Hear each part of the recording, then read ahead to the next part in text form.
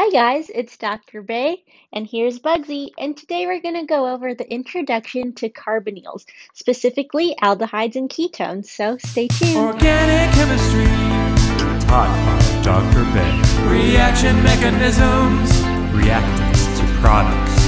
retrosynthesis, Target deconstructing.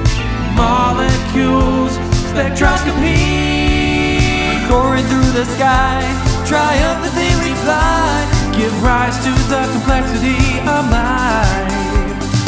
Living on a dream across the seven seas, learning about spectroscopy.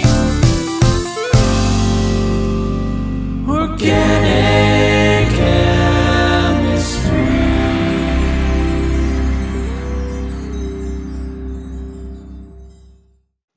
Just as review, carbonyl compounds consist of several different functional groups like ketones, aldehydes, carboxylic acids, esters, and amides.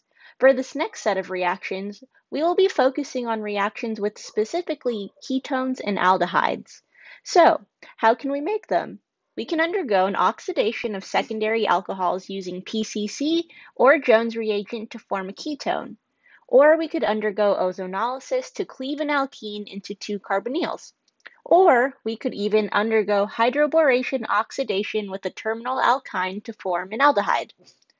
So in general, carbonyls are particularly electrophilic and are susceptible to nucleophilic attack because of two reasons. The first reason is due to resonance. If we break the pi bond of the carbonyl to form a new lone pair on oxygen, this creates another resonance contributor where there is a negative charge on oxygen and a positive charge on carbon. This means that the carbon atom of a carbonyl is much more electrophilic while the oxygen atom of a carbonyl acts more like a nucleophile. In terms of induction, the oxygen atom is more electronegative than carbon, so electron density is pulled towards the oxygen atom. Since the carbon atom is deficient in electron density, it's more susceptible to being attacked by a nucleophile. Now, when a carbonyl is attacked by a nucleophile at the electrophilic carbon center, the carbon undergoes a change in hybridization and geometry. The carbon atom in the carbonyl is sp2 hybridized since it has three steric groups connected to it, and it has a trigonal planar geometry. After nucleophilic attack, however, the carbon atom of the product becomes sp3 hybridized since the nucleophile is now attached, and it has a tetrahedral geometry. Aldehydes generally are more reactive than ketones for two reasons. Ketones have two alkyl groups on each side of the carbonyl that can contribute to steric interactions as the nucleophile attacks. The steric interactions destabilize the transition state of a nucleophilic attack because it's more crowded. On the other hand, aldehydes only have one alkyl group, so the transition state is less crowded and lower in energy. Formaldehyde is even more reactive than aldehyde since the carbonyl is only attached to much smaller hydrogen atoms. The second reason aldehydes are more reactive than ketones towards nucleophilic attack is due to electronic effects. Recall from learning about EAS reactions is that alkyl groups are electron donating groups. A ketone has two electron donating alkyl groups that can stabilize the partially positive charge on the carbon of the carbonyl, while aldehydes only have one electron donating group. The partially positive charge of an aldehyde is less stabilized than a ketone, which means that aldehydes are more electrophilic and more reactive than ketones. Aldehydes and ketones react with a wide variety of nucleophiles that can be classified by the nature of the attack atom. We are going to look at nucleophiles based on oxygen, sulfur, nitrogen, hydrogen, and carbon nucleophiles. For the remainder of this video, we're going to focus on only oxygen nucleophiles attacking aldehydes and ketones. When an aldehyde or ketone is treated with water, the carbonyl group can be converted into a hydrate, also known as a geminal diol, where both hydroxyl groups are connected to the same carbon atom. Hydration can either be base catalyzed or acid catalyzed, and each respective mechanism differs depending on what condition the reaction is under. So let's start with the base catalyzed hydration. A strong base, like OH-, acts as a nucleophile to attack the electrophilic center of a carbonyl. Then the pi bond of a carbonyl breaks to form a new lone pair on oxygen.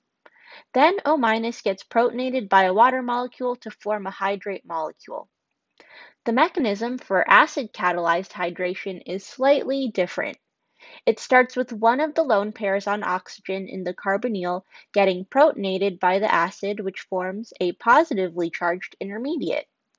Then water attacks the electrophilic center and the carbonyl pi bond breaks to form a new lone pair on oxygen. Then a second mole of water comes in to deprotonate one of the extra hydrogen atoms, which then forms the final hydrate product. Acetal formation is very similar to hydration.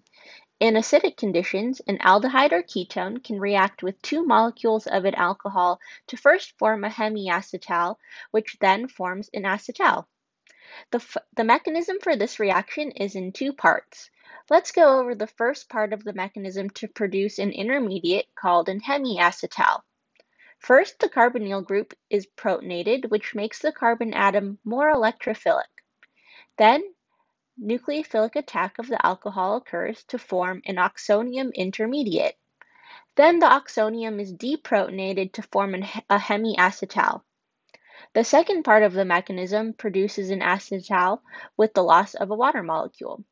It begins with the OH group of the hemiacetal getting protonated which becomes a good leaving group. Then one of the lone pairs in OMe reforms a carbonyl while water leaves. Then the second methanol molecule attacks the electrophilic carbon to generate another oxonium intermediate. Then the hydrogen atom gets deprotonated to form the final acetal product. So in summary, carbonyls are particularly electrophilic and are susceptible to nucleophilic attack because of resonance and induction.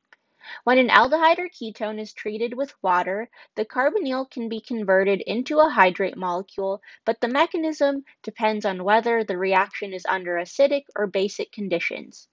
And lastly, an aldehyde or ketone can react with two molecules of an alcohol under acidic conditions to form an acetal. This mechanism consists of two parts.